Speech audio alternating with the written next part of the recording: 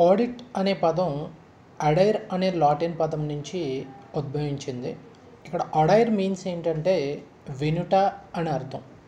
అంటే పూర్వకాలంలో వ్యాపార సంస్థల యజమానులకి ఏంటంటే సంస్థలో జరిగే నగదు దుర్వినియోగం ఏమన్నా అనుమానం వస్తే కనుక ఖాతా పుస్తకాలను అనేది తప్పనిసరిగా తనిఖీ చేయటానికి ఒక వ్యక్తిని అనేది నియమించేవారు. ఆ విధంగా నియమించబడిన వ్యక్తి ఎవరైతే ఉన్నారో ఆ వ్యక్తిని ఆడిటర్ అనేవారు. అయితే ఈ పుస్తకాలను నిర్వహించడానికి నియమించబడిన వ్యక్తిని ఆడిటర్గా అన్నప్పటికీ కూడా ఆడిట్ ఖాతా పుస్తకాలు రాసే సిబ్బందిని పిలిపించి ప్రశ్నించి వారు చెప్పేది ఏమన్నా ఉంటే సావధానంగా విని అంటే తన అభిప్రాయాలను ఏంటంటే తమను నియమించే వారికి తెలిపేవారు. అంటే ఆడిట్ అనేది ఏమైందంటే కేవలం నగదు వ్యవహారానికి మాత్రమే పరిమితం అయ్యే విధ ఆ విచారణ అనేది కేవలం నగదు వ్యవహారానికి మాత్రమే పరిమితంగా ఉండేది. దీనివల్ల ఏమవుతుందంటే కేవలం నగదు ఆడిట్గా మాత్రమే గుర్తింపు పొందడం జరిగింది. అంటే ఆడిట్ అనే పదం అడైర్ అనే లాటిన్ పదం నుంచి ఉద్భవించినప్పటికీ కూడా అడైర్ మీన్స్ ఏంటంటే వినడం అని చెప్పినప్పటికీ పూర్వకాలంలో అంటే ఇన్ ప్రీవియస్ డేస్ వ్యాపార సంస్థల యొక్క యజమానులకు సంస్థలో నగదు దుర్వినియోగం జరిగితే దాన్ని తెలుసుకోవడానికి ఒక వ్యక్తిని నియమించడం జరిగేది. ఆ వ్యక్తి ఎవరైతే ఉన్నారో ఆ వ్యక్తినే మనం ఇక్కడ ఆడిటర్గా కూడా చెప్పడం జరిగింది. కానీ ఇది కేవలం ఏంటంటే నగదు వ్యవహారాలకే మాత్రమే పరిమితం కింద ఉండేది. విచారణ అనేది నగదు వ్యవహారాలకు మాత్రమే పరిమితంగా ఉండేది. అందువల్ల ఇది కేవలం క్యాష్ ఆడిట్ అంటే నగదు ఆడిట్గా మాత్రమే గుర్తింపు పొందింది. కానీ ఆధునిక కాలంలో వ్యాపార సంస్థల యొక్క పరిమాణం పెరిగి వ్యవహారాల సంఖ్య కూడా విపరీతంగా పెరగడం జరిగింది. అంటే వ్యాపార సంస్థల యొక్క పరిమాణం పెరగడంతో పాటు వాటి యొక్క సంఖ్య కూడా ఏమైందంటే విపరీతంగా పెరగటం అనేది జరిగింది. దానివల్ల ప్రజెంట్ నిర్వహిస్తున్న ఈ క్యాష్ ఆడిట్ ఏదైతే ఉందో అది సరిపడేది కాదు. దానివల్ల ఈ ఆడిట్ యొక్క అంటే ప్రస్తుతం చేస్తున్న ఆడిట్ యొక్క ముఖ్యమైన ఉద్దేశం ఏంటంటే వ్యాపార సంస్థ ఆస్తి అప్పుల పట్టిక యొక్క యథార్థ ఆర్థిక పరిస్థితిని తెలుపుతుందా లేదా అనేది మాత్రమే మనం తెలుసుకోవడానికి ఉపయోగపడడం అనేది జరుగుతుంది. అంటే అన్ని వ్యవహారాలను కూడా అంటే బిజినెస్లో జరిగే ట్రాన్సాక్షన్స్ ఏ అయితే ఉన్నాయో నగదు ట్రాన్సాక్షన్స్ అండ్ ఆర్ క్రెడిట్ రెండు కూడా ఏవైతే ఉన్నాయో వాటికి సంబంధించిన ఖాతాలను నెక్స్ట్ పేపర్స్ మీన్స్ పత్రాలను ఓచర్స్ను మొదలైన వాటిని అన్నిటిని కూడా సమగ్రంగా పరిశీలించుకొని అవసరమైన వివరణను కోరి అంటే తన అభిప్రాయాల్ని ఒక నివేదిక రూపంలో తన అభిప్రాయాలు ఏవైతే ఉన్నాయో దాన్ని ఒక నివేదిక రూపంలో సమర్పించేవాడు. దానివల్ల ఏమవుతుందంటే ఆడిట్ అనేది పరి పరిధి ఏమవుతుందంటే ఇక్కడ విస్తృతమే సమగ్రమైన ఆడిట్ అనేది అవసరం ఏర్పడుతుంది. అంటే వ్యాపార సంస్థల యొక్క పరిమాణం ఎప్పుడైతే పెరిగిందో ఆడిట్ యొక్క పరిధి కూడా పెరుగుతూ రావడంతో కేవలం ఆడిట్ అనేది నగదు వ్యవహారాలకు మాత్రమే పరిమితం కాకుండా వ్యాపార సంస్థల యొక్క యథార్థ స్థితిని తెలుసుకోవడానికి అంటే ఆస్తప్పులు పట్టిన బ్యాలెన్స్ షీట్ని తయారు చేసుకోవడం దాని దాని ద్వారా ఆ పత్రాలు ఆ ఆస్తప్పుల పట్టికి సంబంధించి తయారయ్యే ఏ అయితే ఉన్నాయో వాటికి సంబంధించిన అంటే వ్యవహారాలు ట్రాన్సాక్షన్కి సంబంధించి ఖాతాలను పత్రాలను ఓచర్లను మొదలైన వాటిని అన్నింటినీ కూడా కూలంకుషంగా పరిశీలించిన తర్వాత వివరణ కోరి వాళ్ళ యొక్క అభిప్రాయాల్లో ఒక నివేదిక రూపంలో రూపొందించడం అనేది జరుగుతుంది. దీనివల్ల ఏమవుతుందంటే ఆడిట్ యొక్క పరిధి అనేది విస్తృతమవుతుంది. తద్వారా ఆడిట్ యొక్క సమగ్రమైన ఒక కార్యరూపం అనేది దాల్చడం జరుగుతుంది. ఇంకా ఆడిట్కి సంబంధించి ఏంటంటే కొన్ని నిర్వచనాలను కూడా మనం చెప్పుకోవడం జరిగింది. ఏంటిది? ఆర్థిక విషయాలకు సంబంధించిన వ్యాపార వ్యవహారాలను. అంటే ఆర్థిక విషయాలకు సంబంధించిన వ్యాపార వ్యవహారాలను అతి నేర్పరితనంతో విమర్శనాత్మకంగా చూడటాన్ని ఆడిటింగ్గా చెప్పవచ్చు. అంటే ఆర్థిక విషయాలకు ఫైనాన్షియల్ మ్యాటర్స్ ఏవైతే ఉన్నాయో వాటికి సంబంధించిన ఈచ్ అండ్ ఎవ్రీ ట్రాన్సాక్షన్స్ని కూడా వ్యాపార వ్యవహారాలన్నింటినీ కూడా బిజినెస్ ట్రాన్సాక్షన్స్ అన్నిటినీ కూడా అతి అతి నేర్పరితనంతో చాకచక్యంగా విమర్శనాత్మకంగా చూడడాన్ని ఆడిటింగ్గా మనం చెప్పుకోవచ్చు. అయితే ఆధునిక కాలంలో దీని యొక్క పరిధి ఏమైందంటే అర్థము కూడా రెండూ కూడా విస్తృతపరచబడడం జరిగింది. అందువల్ల దీనికి ఒక నిర్దిష్టమైన నిర్వచనం అంటూ కూడా ఏమీ కూడా ఇవ్వలేకపోవడం జరుగుతుంది. అందువల్ల ఆడిటింగ్కి సంబంధించి మనం సమగ్రంగా తెలుసుకోవాలి అని అంటే చాలామంది అంటే ప్రముఖ రచయితలు వివిధ రకాల నిర్వచనాలను చెప్పడం అనేది జరిగింది. ఇప్పుడు పర్టికులర్గా మనం ఏంటంటే ఆర్థిక విషయాలు అగైన్ ఒకసారి రిపీటెడ్ ఆర్థిక విషయాలకు సంబంధించిన వ్యాపార వ్యవహారాలను అతి నేర్పరితనంతో అంటే చాలా నేర్పరితమ నేర్పరితనంతో విమర్శనాత్మకంగా చూడడాన్ని ఏదైతే చూస్తున్నామో దాన్ని ఆడిటింగ్గా చెప్తున్నాం. కానీ ఆధునిక కాలంలో దీని యొక్క పరిధి ప్లస్ అర్థము కూడా రెండు కూడా విస్తృతపరచబడింది అందువల్ల ఏంటంటే దీనికి ఒక నిర్దిష్టమైన నిర్వచనం అంటే ఇవ్వలేకపోతున్నాం. దీనివల్ల ఆడిటింగ్ అనేది ఏంటంటే మరింత సమగ్రంగా తెలుసుకోవటానికి పలు ప్రముఖ రచయితల యొక్క నిర్వచనాలను కూడా మనం పరిశీలించుకోవచ్చు. అందులో మనం చెప్పేది ఏంటంటే బౌంట్ గోమరి నిర్వచనం ప్రకారం చూసుకున్నట్లయితే మౌంట్ గ్రామరీ నిర్వచనం ప్రకారం మనం చూసుకున్నట్లయితే దీనికి సంబంధించి ఒక విషయం అనేది చెప్పడం జరుగుతుంది.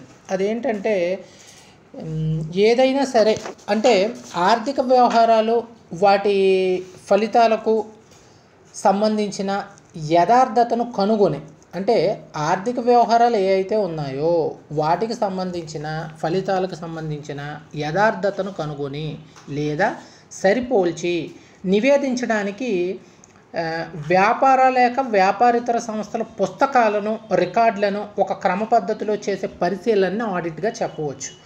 అంటే మౌంట్ గోమరి అన్న శాస్త్రవేత్త నిర్వచనం ప్రకారం ఏంటంటే ఇక్కడ ఆడిటింగ్ అనేది మీన్స్ ఏంటంటే ఆర్థిక వ్యవహారాలు అనేది వాటి ఫలితాలకు సంబంధించిన యథార్థతను కనుగొని లేదా సరిపోల్చి నివేదించడానికి వ్యాపార లేక వ్యాపారేతర సంస్థల పుస్తకాలను రికార్డులను ఒక క్రమ పద్ధతిలో చేసే పరిశీలన ఏదైతే ఉందో ఆ పరిశీలనని మనం ఆడిట్గా చెప్పవచ్చు. ఇంకా ఆడిట్కి సంబంధించి ఏంటంటే డిఫరెంట్ అంటే వీటి యొక్క లక్షణాలను కూడా మనం చూసుకున్నట్లయితే పద్దు పుస్తకాల్లో ఏంటంటే తప్పులు ఉందే లేనిది తెలుసుకోవటానికి. అంటే మనం రాసే ఎంట్రీస్కి సంబంధించి ఏమన్నా మేబీ ఒకవేళ కరెక్ట్ ఉందా లేకపోతే రాంగ్ ఉందా అనేది ఒకసారి మనం తెలిసి చూసుకోవటానికి. నెక్స్ట్ సెకండ్ వన్ వచ్చేసి ఆస్తప్పులు పట్టి లాభ నష్టాల ఖాతా పుస్తకాలను ప్రకారం తయారు చేసింది లేనిది తెలుసుకోవడానికి. అంటే బ్యాలెన్స్ షీట్ అనేది మనం తయారు చేయాలంటే trading account and profit and loss account రెండు మనకు కావాలి. అంటే వర్తకపు ఖాతా అండ్ లాభ నష్టాల ఖాతా. ఈ బేస్ చేసుకొని ఆస్తప్పుల పట్టికని అంటే తయారు చేసారా లేదా?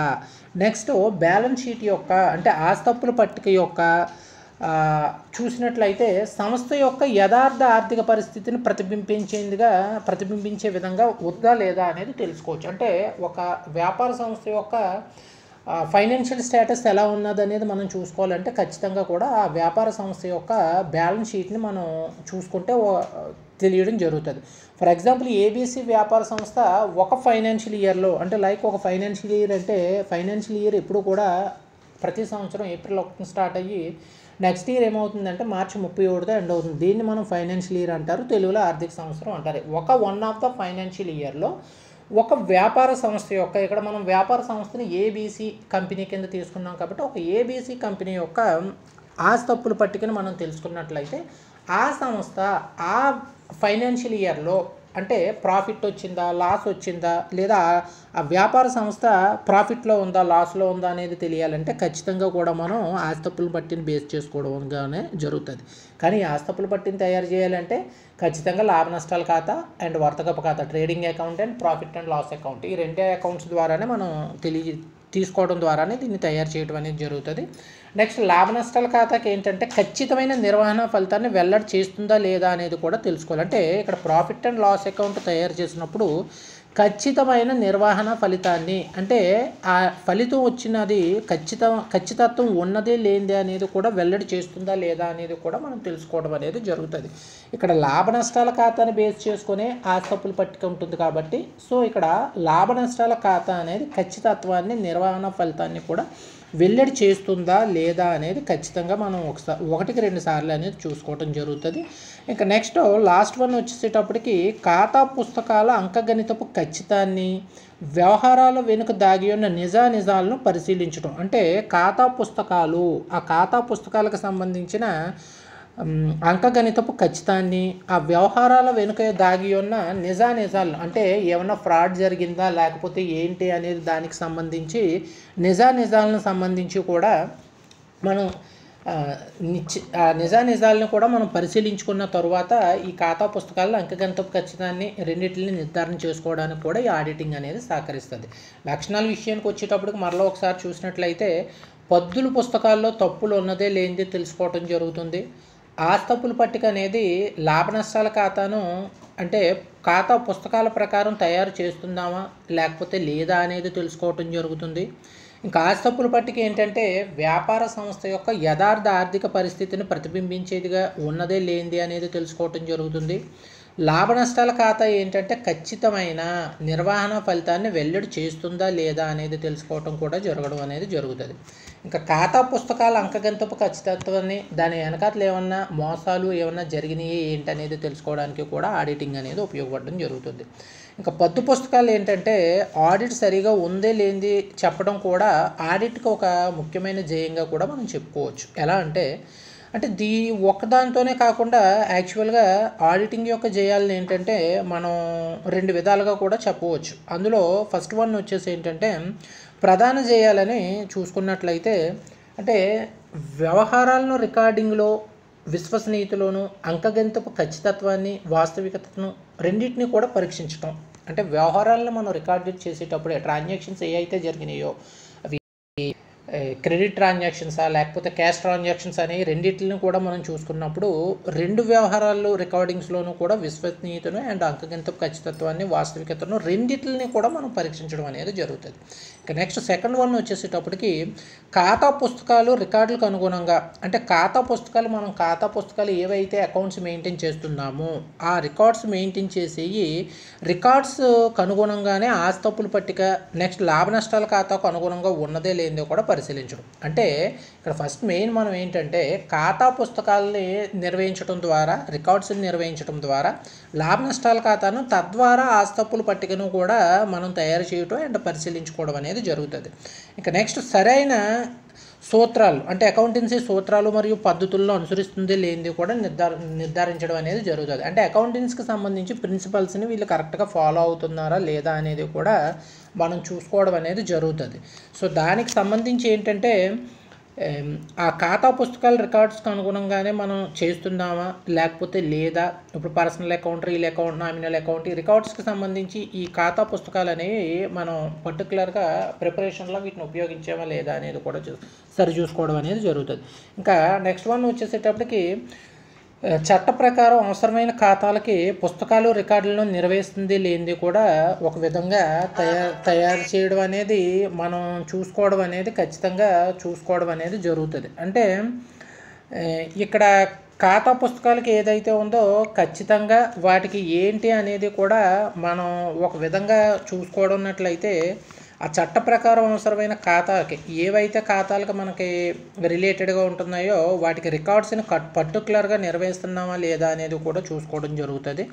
ఇంకా వ్యాపార వ్యవహారాల నిజమైన న్యాయ స్థితిని అంటే దట్ మీన్స్ యథార్థ న్యాయ స్థితిని మనం ఆస్తప్పులు పట్టి ప్రతిబింబిస్తున్నట్లుగానే లాభ నష్టాల ఖాతా వ్యాపారం యొక్క వాస్తవ లాభాన్ని లేదా నష్టాన్ని తెలియజేస్తున్నట్లుగా ధృవీకరించుకోవాలి. ఎలా ఎలా అంటే అది వ్యాపార వ్యవహారాల యథార్థ న్యాయ స్థితిని అంటే ఆస్తప్పులు పట్టి ప్రతిబింబిస్తున్నట్లుగానే అంటే ఒక వ్యాపారం యొక్క లాభం ఉందా నష్టం ఉందా అనేది తెలుసుకోవాలంటే మనం గతంలో చెప్పినట్టుగానే ఆస్తప్పులు పట్టిని బేస్ చేసుకునే నిర్ణయించడం జరుగుతుంది. ఆస్తప్పులు పట్టి యథార్థ న్యాయస్థితి ప్రకారం ఉన్నదా లేదా అనేది నెక్స్ట్ ఆస్తప్పులు పట్టి అనేది పర్టికులర్గా లాభ నష్టాల ఖాతాకు అనుగుణంగా తయారు చేసేమా లేదా? అంటే లాభ నష్టాల ఖాతాని వచ్చిన వాస్తవ లాభాన్ని లేదా నష్టాన్ని బేస్ చేసుకుని ధృవీకరిస్తున్నామా లేదా అనేది కూడా ఒకసారి చెక్ చేసుకోవాల్సి ఉంటుంది. ఇంకొకసారి చూసినట్లయితే ఆడిటింగ్ యొక్క జయాలు ఏంటంటే పద్దు పుస్తకాల్లో ఆడిట్ సరిగ్గా ఉందే లేనిది అనేది తేల్చి చెప్పడం ఆడిట్ యొక్క ముఖ్యమైన జయంగా చెప్పవచ్చు. ఇందులో కొన్ని జయాలను చూసుకున్నట్లయితే వ్యవహారాలను రికార్డులో అంటే మనం చేసే వ్యవ వ్యాపార ట్రాన్సాక్షన్కి సంబంధించి రాసే ప్రతి రికార్డ్స్ కూడా విశ్వసనీయత అంకగణిత ఖచ్చితాన్ని వాస్తవికతను పరిశీ పరీక్షిస్తున్నామా లేదా అనేది.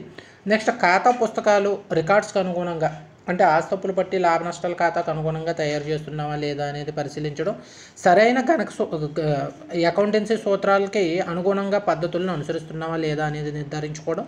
నెక్స్ట్ చట్ట ప్రకారం అవసరమైన ఖాతాకు పుస్తకాలను రికార్డ్స్ను నిజంగా ధృవీకరిస్తున్నామా లేదా అనేది నిర్ణయించుకోవడం. వ్యాపార వ్యవహారాల యథార్థ న్యాయస్థితిని అంటే నిజమైన న్యాయస్థితిని ఆస్తపుల పట్టికి అనుగుణంగా తయారు చేసుకుంటున్నామా లేదా లేకపోతే ఒకవేళ ఏమైనా ఫ్రాడ్స్ జరిగినాయే ఏంటి అనేది చూసుకొని తదానుగుణంగా చేసుకోవడం అనేది ఆడిటింగ్ యొక్క నిర్వచనం. సో పర్టికులర్గా ఇక్కడ ఏంటంటే ఆడిట్కి సంబంధించి మనకి మౌంట్ గోమరి ఆయన ఒక నిర్వచనం చెప్పడం జరిగింది గతంలో చెప్పింది. ఆర్థిక వ్యవహారాలు వాటి ఫలితాలకు సంబంధించిన యథార్థ పరిస్థితిని తెలుసుకోవడం లేదా నివేదించడం వ్యాపార లేదా వ్యాపారేతర సంస్థల పుస్తకాలకు రికార్డులకు ఒక క్రమమైన పద్ధతిలో చేసే పరిశీలనే ఆడిట్గా మనం చెప్పడం అనేది జరుగుతుంది. సో ఆడిట్కి సంబంధించి what is the audit and ఆడిట్కి సంబంధించిన స్కోప్ పరిధి అనేది ఏంటి? మౌంట్ గోమరీ ఇచ్చిన నిర్వచనం అనేది ఏంటి? నెక్స్ట్ లక్షణాలు అనేవి ఏంటి ఆడిటింగ్కి ఉన్న ధ్యేయాలు అనేవి ఏంటి అనేది ఇవి క్లాస్లో చెప్పడం జరిగింది. Thank you